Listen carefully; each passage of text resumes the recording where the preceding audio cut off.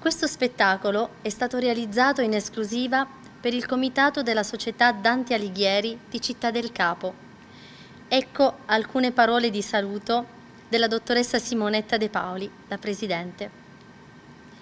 Benvenuti a questo appuntamento con la lingua, la poesia e il bel canto.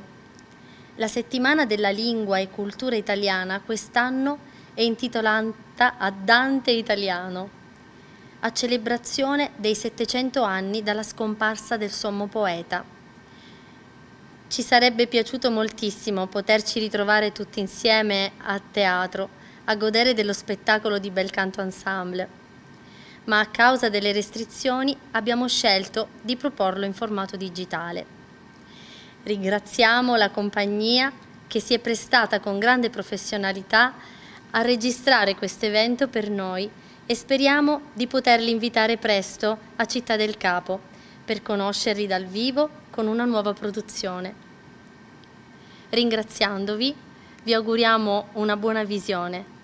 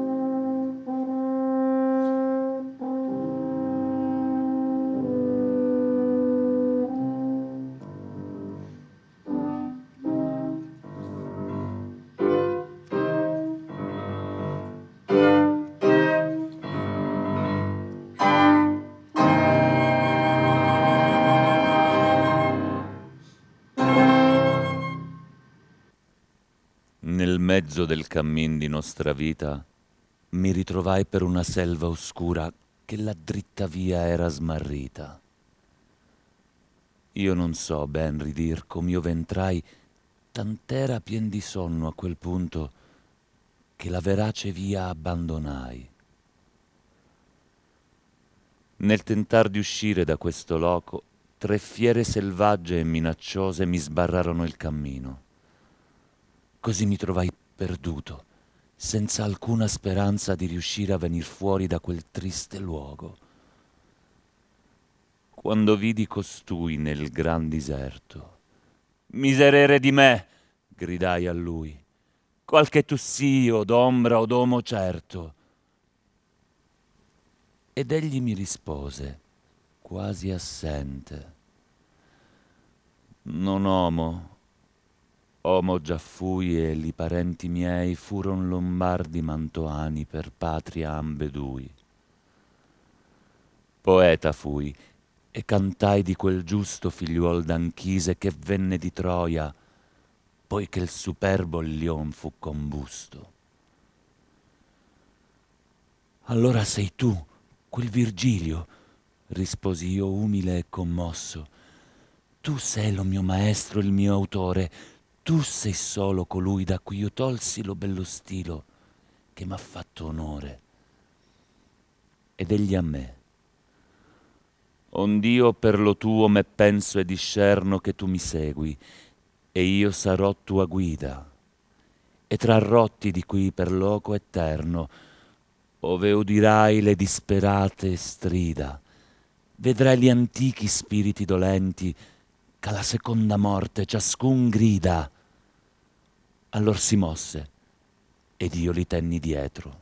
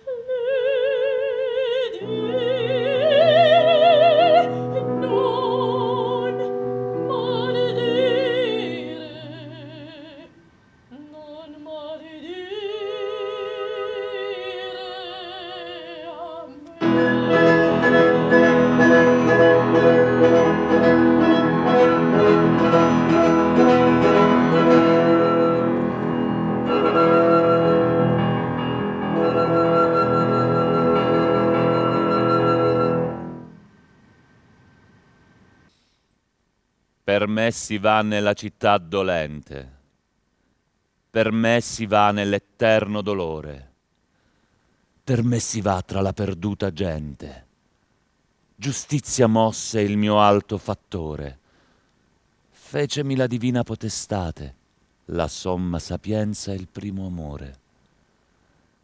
Dinanzi a me non fuor cose create se non eterne ed io eterno duro lasciate ogni speranza voi che entrate.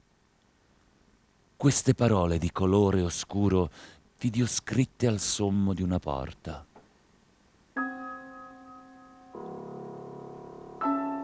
Eccoci giunti all'entrata dell'inferno.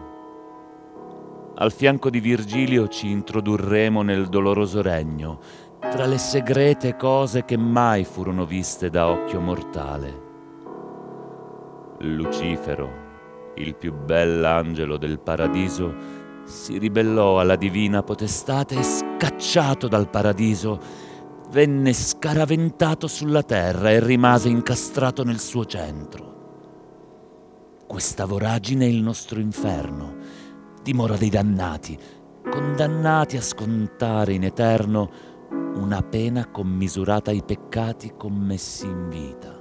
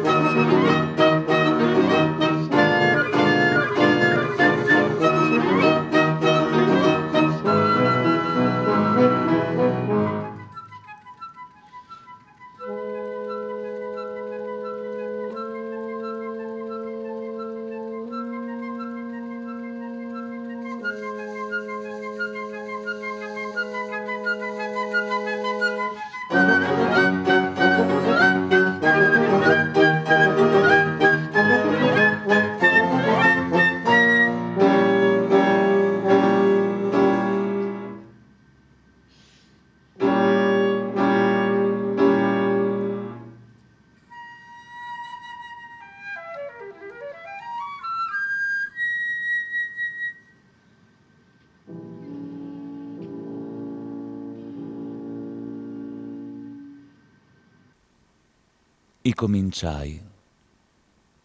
Poeta, volentieri parlerei a quei due che insieme vanno e paionsi al vento esser leggeri.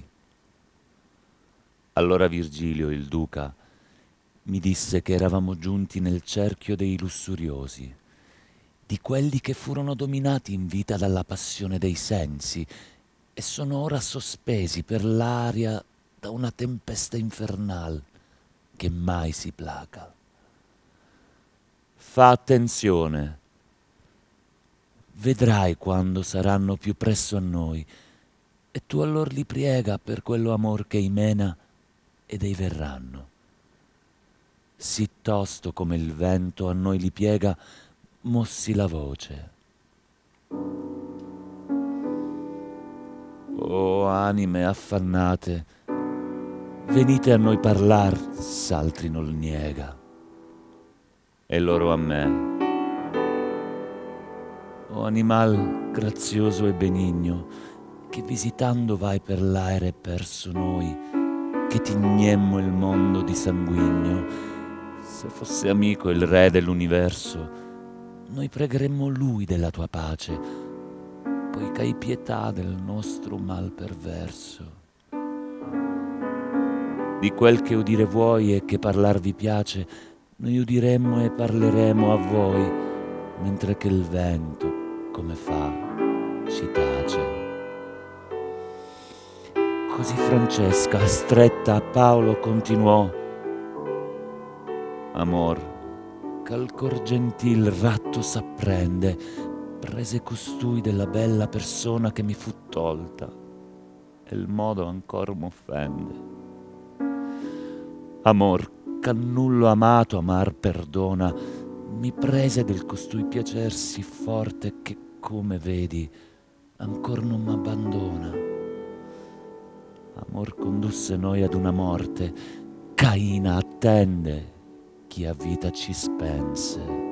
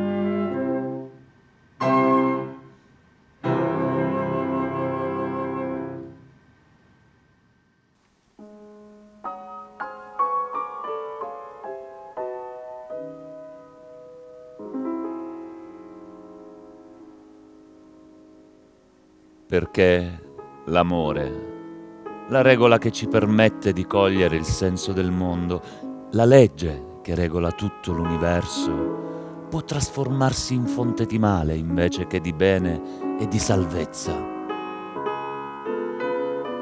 Intesi che a così fatto tormento erano dannati i peccatori carnali, che la ragion sottomettono al talento qual ecco, destino infame attende i lussuriosi in un muggire di tempesta, una bufera che sbatte le anime dannate senza che abbiano speranza di fermarsi o di alleviare la loro pena. Pensai ancora alle parole di Francesca e alla passione che li spinse a morte eterna.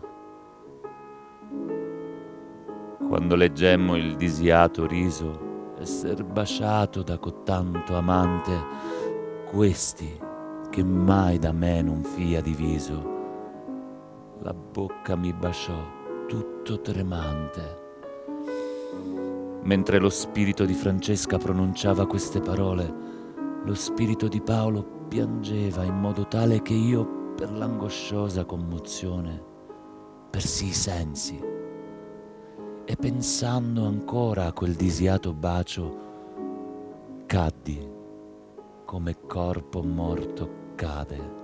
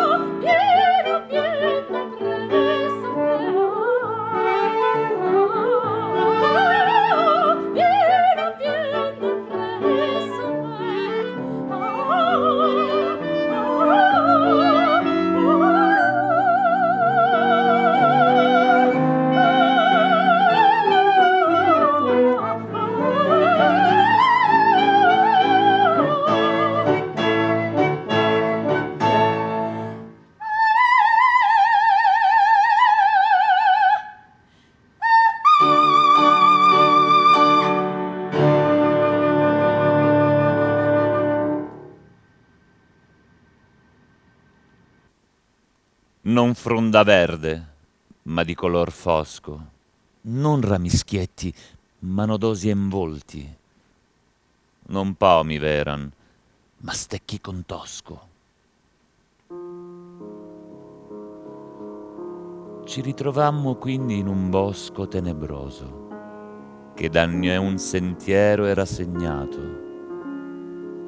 Allora Virgilio mi disse che eravamo giunti nel luogo dove scontano la propria pena i suicidi.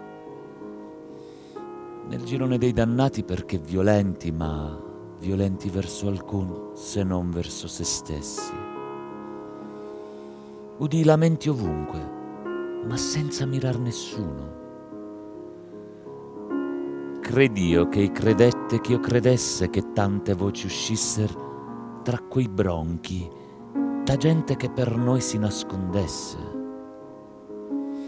Il duca mio mi involto a troncar da pianta rametto. Allor porsi la mano un poco avanti e colsi un ramicel da un gran pruno. Perché mi schiante? Tronco suo gridò. Una voce umana mista a sangue che senza indugiar sentenza seguitando aggiunse perché mi scerpi? Non hai tu spirito di pietade alcuno. Uomini fummo, e or s'han fatti sterpi. Ben dovrebbe essere la tua man più pia se state fossimo anime di serpi.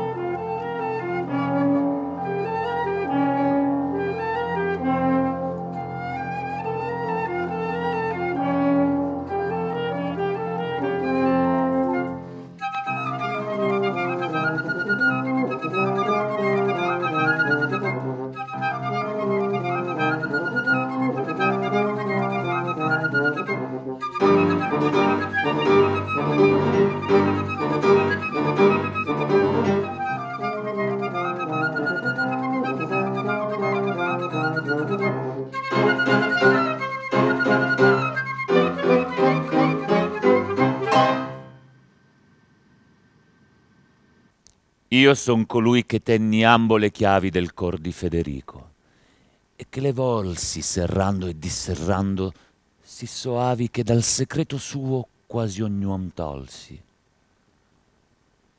Pier delle Vigne, costui era l'anima dannata che al mio cospetto si rivolse, rimembrando con rimpianto la vita terrena di cui egli stesso si privò l'animo mio per disdegnoso gusto, credendo col morir fuggir disdegno, ingiusto fece me contra me giusto. La calunnia fu l'ignobil cagion che fissò quell'alma mortale alla dannazione eterna, ove l'arpie, pascendo poi delle sue foglie, fanno dolore e al dolor fenestra. thank you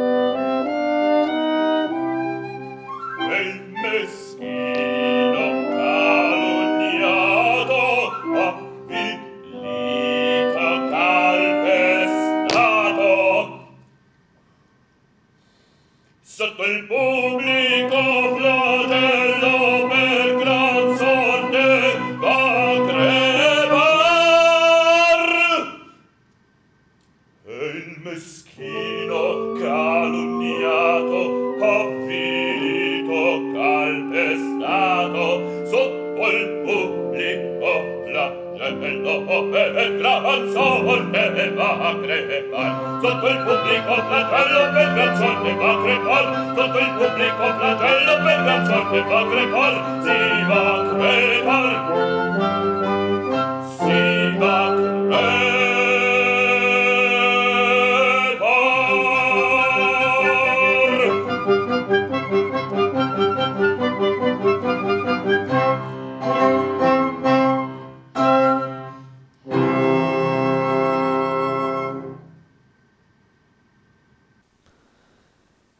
proseguiamo il cammino, dopo aver attraversato numerosi cerchi dell'inferno ed aver assistito al dolore e alla pena di queste infelici anime.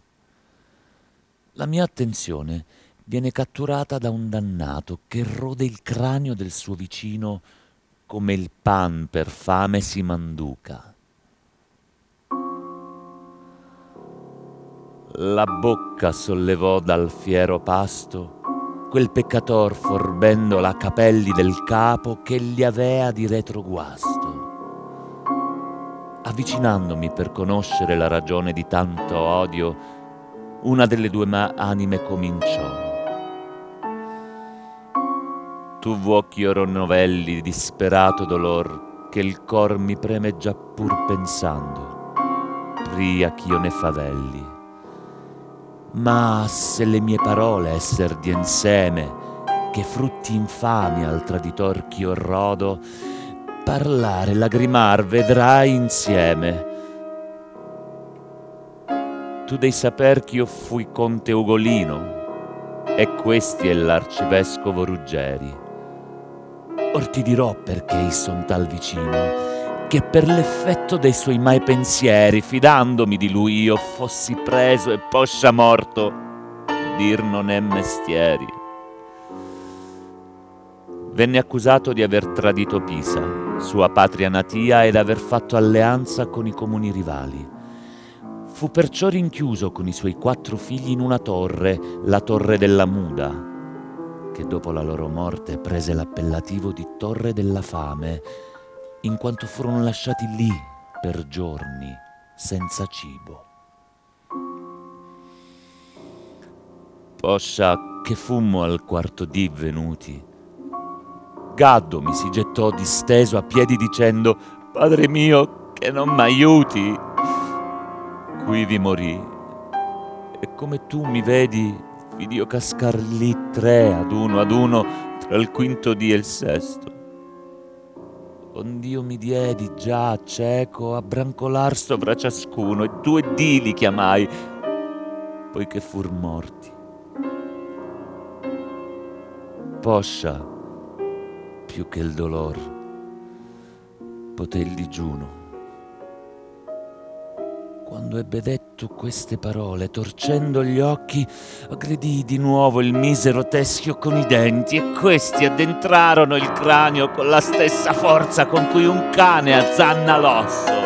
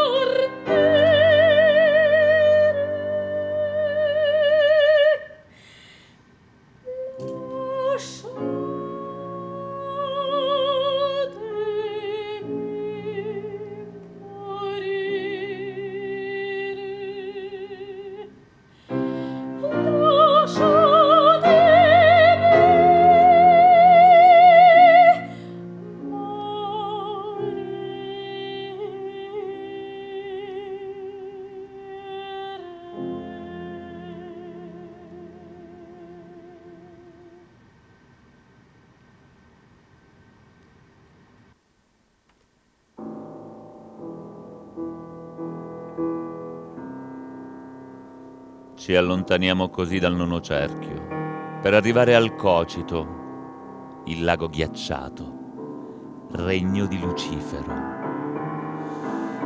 Vexilla regis prodeunt inferni. I vessili del re dell'inferno avanzano verso di noi. Eccoci giunti alla Giudecca, ultima zona dell'inferno, immersa in un ghiaccio eterno e dimora dell'imperatore del doloroso regno, un essere mostruoso, con tre facce in un'unica testa, una grottesca parodia della Trinità. Il re dell'inferno in ogni sua bocca stritola un peccatore, Giuda che tradì Cristo, e Bruto e Cassio che tradirono Cesare. L'omperador del doloroso regno da mezzo il petto uscia fuor della ghiaccia, e più con un gigante io mi convegno. Sei fu sì bel com'egli e ora è brutto, e contro al suo fattore alzò le ciglia. Ben dè da lui procedere ogni lutto.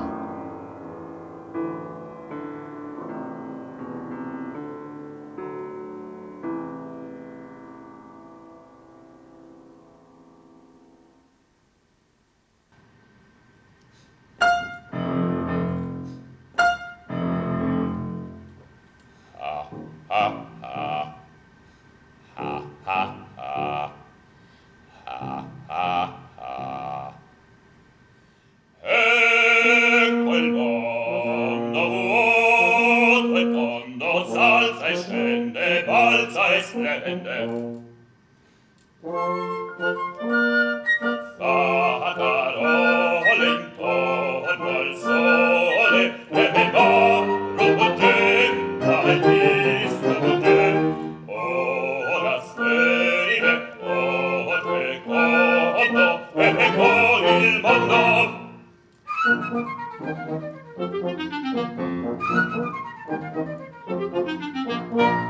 Su il suo grosso, al tini come dopo suo,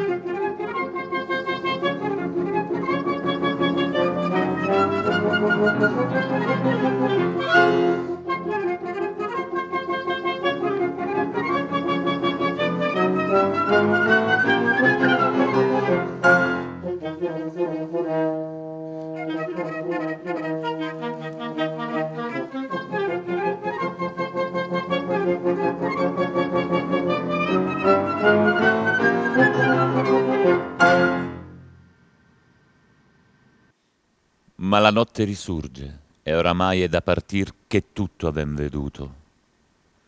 Affrettiamoci dunque ad uscire da questo luogo. Tutto ci è stato svelato. Aggrappiamoci alle costole villose di Lucifero e di ciuffo in ciuffo scendiamo giù fino alle cosce. Qui siamo al centro della terra, con altrettanta fatica ci giriamo su noi stessi e cominciamo a salire, tenendoci alle sue gambe.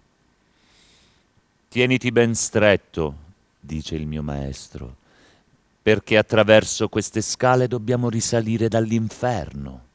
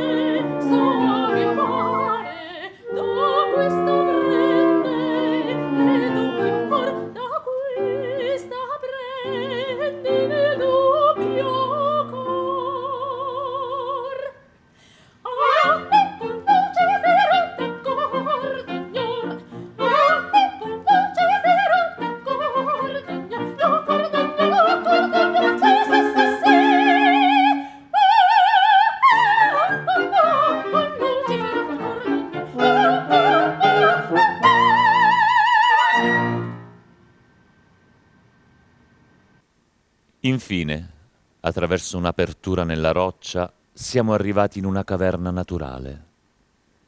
Per uscire da qui siamo guidati non dalla vista, bensì dall'udito, grazie al suono di un ruscelletto che scende fin qui, attraverso una fenditura nella roccia che egli stesso ha eroso con il suo tortuoso corso. Attraversiamo quindi questa via sotterranea per tornare al mondo luminoso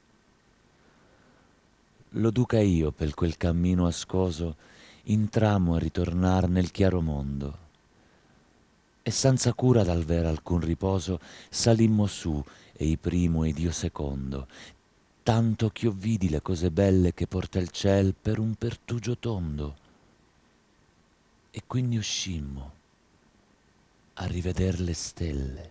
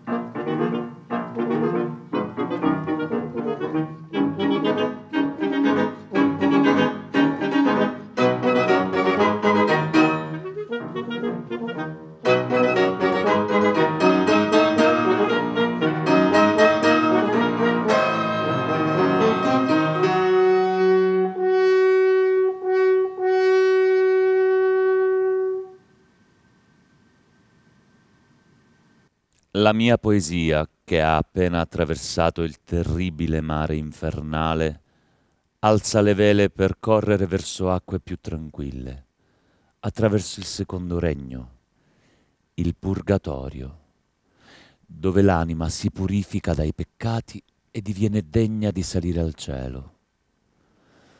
Un dolce colore azzurro che si concentra nel cielo sereno, limpido fino all'orizzonte, torna a confortare i miei occhi una volta usciti dalle tenebre infernali. Attraversiamo i luoghi dove le anime sostano prima di vederlo cielo, attraverso la purificazione, fino a giungere qui, dove sono puniti i morti di morte violenta. Quindi Virgilio, ma vedi là un'anima che posta sola, soletta, inverso noi guarda. Quella ne insegnerà la via più tosta. Ed ecco che si avvicina a lei e prega di mostrargli la via più agevole. Ma questa tace e domanda: Da dove voi venite? Mantova, risponde Virgilio. Allora questa, rianimatasi, gli corre incontro. O Mantovano, io sono il tuo conterraneo, sordello! Ed eccoli l'uno tra le braccia dell'altro.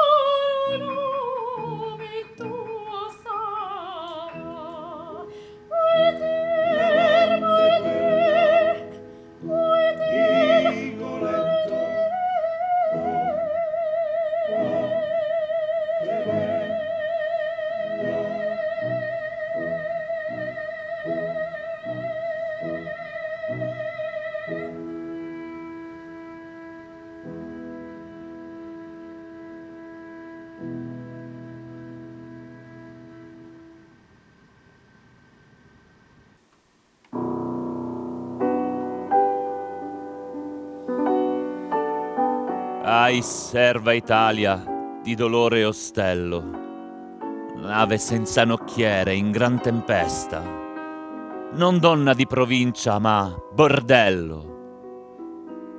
Queste le parole sue ed ancora.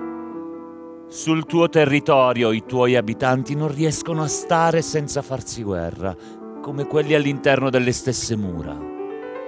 Oh misera! A cosa serve che Giustiniano ti abbia dato delle leggi se nessuno le fa rispettare? Ai uomini di chiesa, che dovreste esser pii e lasciare all'imperatore di restare sulla sella. Guardate come l'Italia, simile ad un cavallo, è diventata ribelle, poiché voi avete voluto ostacolare il governo dell'imperatore.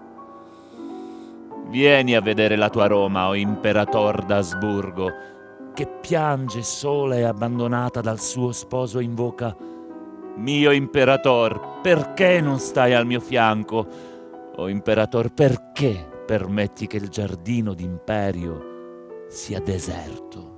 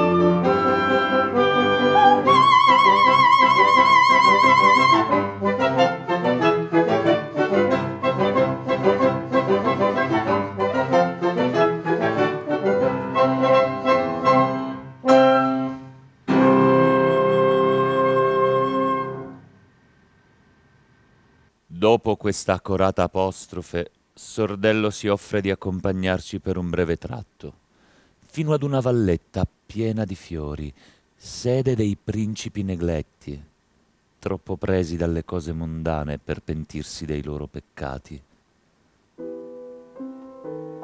Ed ora ci avviamo da soli tra le sette cornici del Purgatorio che racchiudono i mali del mondo ancora in attesa di essere cancellati dalla misericordia di Dio. È giunta ormai l'ora del tramonto e mi sembra quasi di udire un lontano squillo di campane, come ad annunciare la fine del giorno. Inizia anche per me quel percorso di purificazione che le anime del purgatorio intraprendono prima di essere accolte nel regno del paradiso l'alma mia si eleva per essere accolta dalla divina potestate. E il duca mio continua il suo viaggio insieme a me, con gli occhi sempre vigili e il verbo istruente, in questa salita sempre più lieve e di pietade ardente.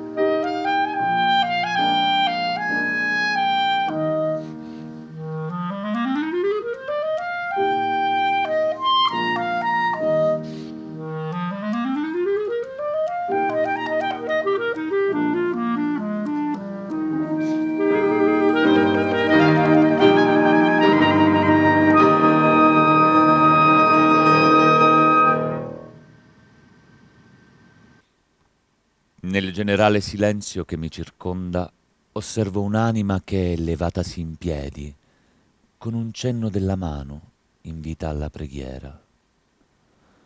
Te, luci sante, sì devotamente le uscio di bocca e con sì dolci note che fece me a me uscir di mente, e l'altre poi dolcemente e devote seguitar lei per tutto l'inno intero avendo gli occhi alle supreme rote. Io sento nel cuore il ricordo delle opere buone compiute e quindi, purificato, sono ormai puro e disposto a salire alle stelle.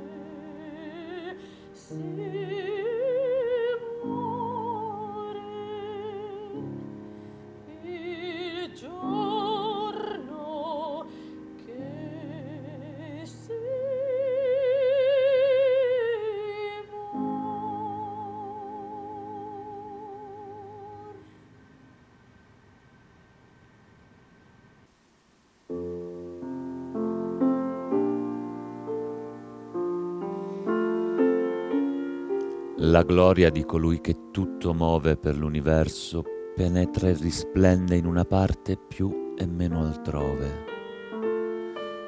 Nel ciel che più della sua luce prende fui io, e vidi cose che ridire né sa né può chi di lassù discende.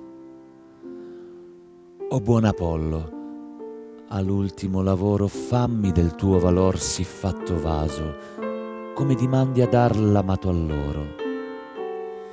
Eccoci giunti alla fine del nostro cammino. Il paradiso, sede dei beati. Colei che è la musa ispiratrice di ogni mio verso sarà la mia guida. Lei che simboleggia la grazia in cielo, donna perfetta di ogni virtù infusa, Beatrice. Il paradiso si divide in nove cieli, i primi sette portano il nome dei pianeti, di seguito vi è il cielo cristallino e infine l'Empireo, sede della Candida Rosa, dove sono disposti i beati, insieme alla Vergine Maria. Questi ricevono luce e amore da Dio e ne sono totalmente appagati, tanto che da non desiderare null'altro.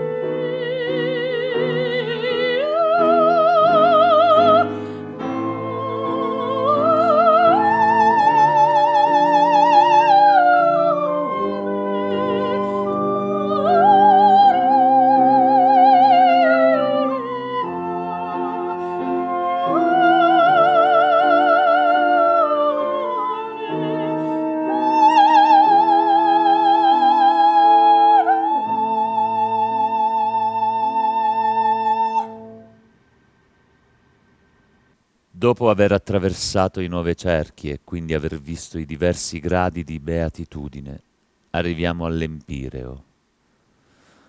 Qui San Bernardo, come mia guida e maestro, farà sì con un'invocazione alla Vergine che io possa ottenere il miracolo della visione di Dio.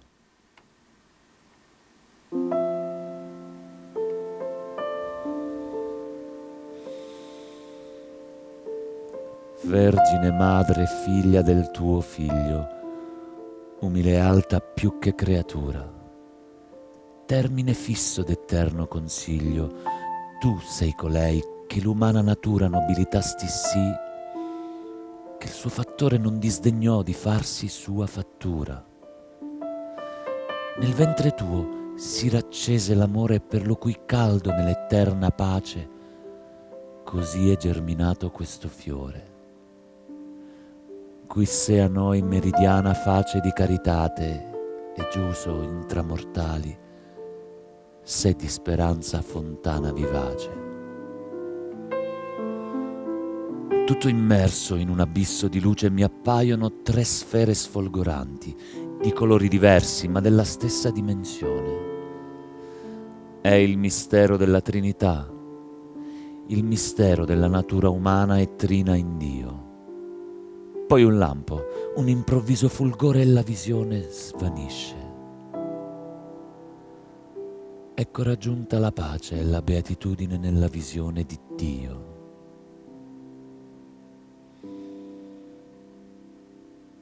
All'alta fantasia qui mancò possa, ma già volgeva il mio disio e il velle, siccome rota chi ugualmente è mossa l'amor che muove il sole e le altre stelle.